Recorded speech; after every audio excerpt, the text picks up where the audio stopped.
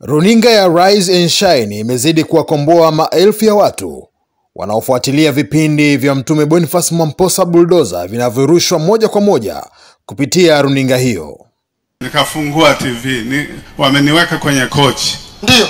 basi ba, Wamekukalisha kwenye kochi. wamenikalisha kwenye kochi. Ulikuwa uweza hata kutembea. Ah, Nilikuwa bado kabisa, yani wameni Ndio, baada ya kukalisha.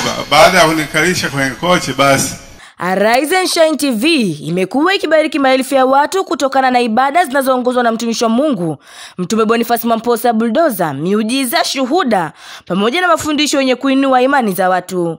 Habari hizi za madhabahu ya Inuka Uangaze zimefika mpaka mkoani Mwanza, huku wengi wao wakipokea uponyaji kwa njia ya television. Baba huyu ambaye alisumbuliwa na stroke kiasi cha kutoweza kutembea kabisa, lakini kupitia maombi ya mtumishi wa Mungu Mtume Boniface Mwamposa Buldoza, baba huyu apona papo kwa papo. baada ya wewe kuanza kuomba Eh, na kuzungumza, wale ambao wanatuangalia kwenye TV yetu, nawaambia msimame, ambao hamwezi kusimama. nikasema wale ambao hawezi kusimama na unatazama TV simama. Ndio. Ndiyo, Aha. Basi nikasimama Pale pale nyumbani. pale pale nyumbani, nikaanzia ule mguu wangu wa kulia nikasimama, baadaye nikaweka wa kushoto ambao hauna nguvu, Eh, lakini nao ukapata nguvu. ukapata nguvu. Nikapiga hatua moja, ya pili, ya tatu. Pigia Yesu makofi. Na wewe pokea na unayetazama pokea kwa jina la Yesu. Aha.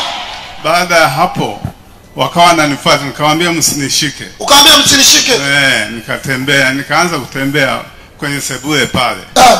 Baadaye nikakaa nikasema, asante Yesu, Ah. nimepona sasa, nimepona. ndio. Eh, waka alipokuja binti yangu kutoka Dar es Salaam kuja kuniona akaniletea fimbo, nikamwambia hiyo fimbo mimi sihitaji. ah. Kama Mungu ameweza kuni tembe, kuni nani kuniinua. kuniinua, namtegemea Mungu ambaye ndio ataniongoza. Amen.